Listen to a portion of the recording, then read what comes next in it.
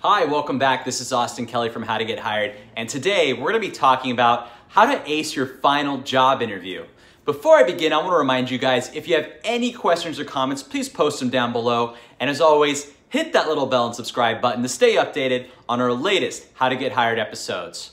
Before your final interview, you're likely to have been through a phone interview and a more formal in-person interview. Your final job interview is your last chance to impress your hiring manager before he or she makes a choice between you and a small group of top candidates that are similar like you, but not really you. So who you'll be interviewing with depends on the level of the job and the size of the company. You may be interviewing with someone you've already interviewed in the past, or even the CEO of an organization if it's a small company. At this stage of the interview process, it's important to strike the right balance between confidence and modesty. You should congratulate yourself on having made it this far, but don't assume you have the job just yet. You really don't want to let your guard down or act way too comfortable. Approach each conversation with the same degree of professionalism you relied on to get you this far in the interview process.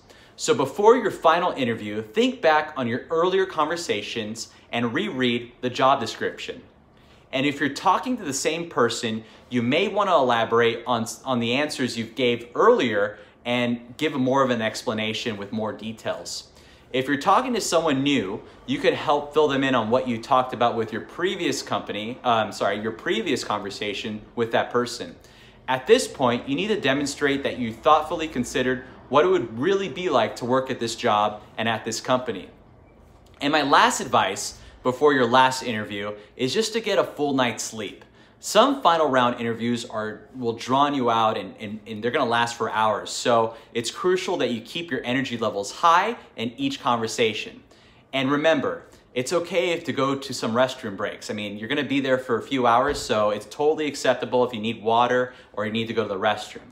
Now, the hiring uh, decisions are made differently at different companies. So you don't really know who on the interview committee may be able to veto your decision to hire you. So my, my rule is treat everyone with the utmost respect and don't let your uh, stamina drop as the days go on. If, you if you've gotten this far, you already know the following seven crucial steps to prepare for your final interview. The, you know, number crucial number one is you have to research the company. Number two, you got to bring multiple copies of your resume. Number three, you want to prepare to ask uh, prepare to ask questions for the interviewer. Number four, keep your body language confident and polite. Number five, you want to dress appropriately.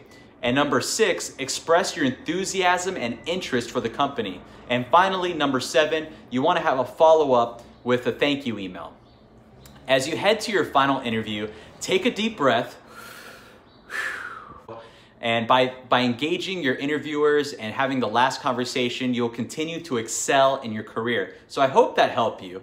Um, if you haven't already subscribed and you're interested in getting ahead in your career, click the link below to order our brand new book, How to Get Hired, available on Amazon, Barnes & Noble, iTunes, and at austinkellybooks.com. You want to use coupon code YouTube35 on our website to receive 35% off our new book to get the latest and greatest career tips to advance your career. So thank you for watching and I'll see you on our next video.